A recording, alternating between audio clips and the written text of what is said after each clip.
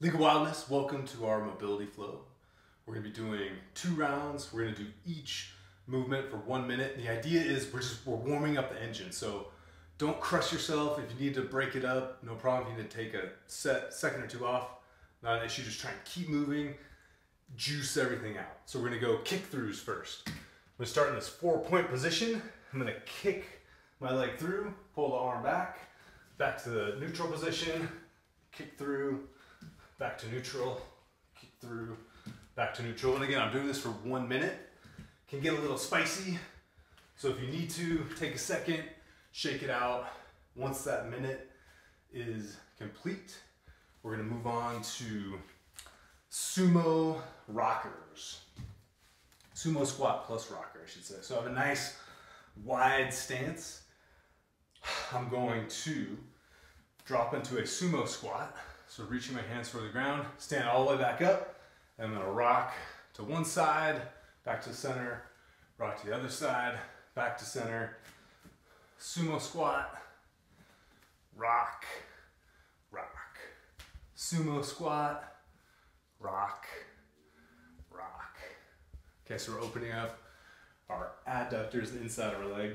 From here, one of my favorites is Jefferson curl. So knees, they're not locked out, locked out. There's just like a slight softness to your knee.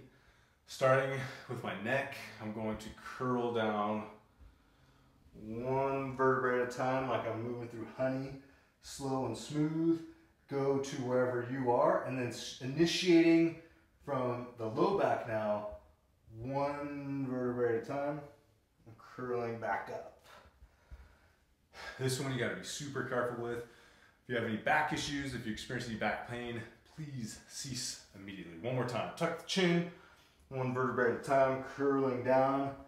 You can marinate at the bottom, stretch out for a second, and then reverse back up one vertebrae at a time. We're trying to teach our back to kind of articulate this like wave type of pattern. Okay, from here, we're gonna go to a warrior dog. I like this a lot. I do these all the time. So I'm basically starting in a down dog position. I'm gonna step left leg forward, go into a warrior one, get a nice stretch, pause for a beat, back into down dog, and then now right leg forward. So I'm essentially just alternating which leg is forward in the warrior position. We're gonna be doing this for one minute. This is one of my favorite just little cycles to go through. Nice full body movement, just gets everything flowing. From here, I really like this one. This one is called the, uh, it's a push-up lower into a chest can opener. So I'm gonna start in the plank position.